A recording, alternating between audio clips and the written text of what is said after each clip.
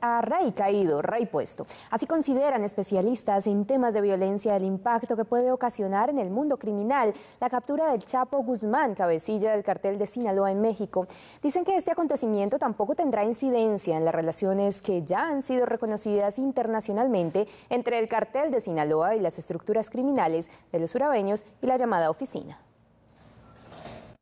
El director de Corpades asegura que lo único que pasa es un cambio de nombres en los mandos de este cartel. El cartel del Sinaloa, el cartel del Sinaloa no, no sufre cambio, simplemente pasa a un costado el Chapo y viene otros y ya asumen el poder.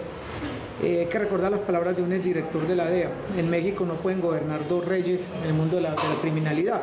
Y se habla de hombres más poderosos, hombres más poderosos que, que, el mismo Chapo Guzmán. Las relaciones que se ha dicho tiene el cartel de Sinaloa con las bandas criminales en Medellín tampoco tendrán un impacto mayor. Las relaciones del negocio no cambian ni con urabeños, ni con la oficina, ni con los rastrojos.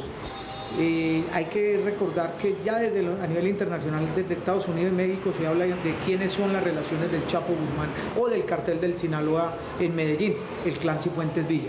Tampoco incidirá en el pacto del fusil en que asegura que hay participación directa de este cartel para mantener el negocio.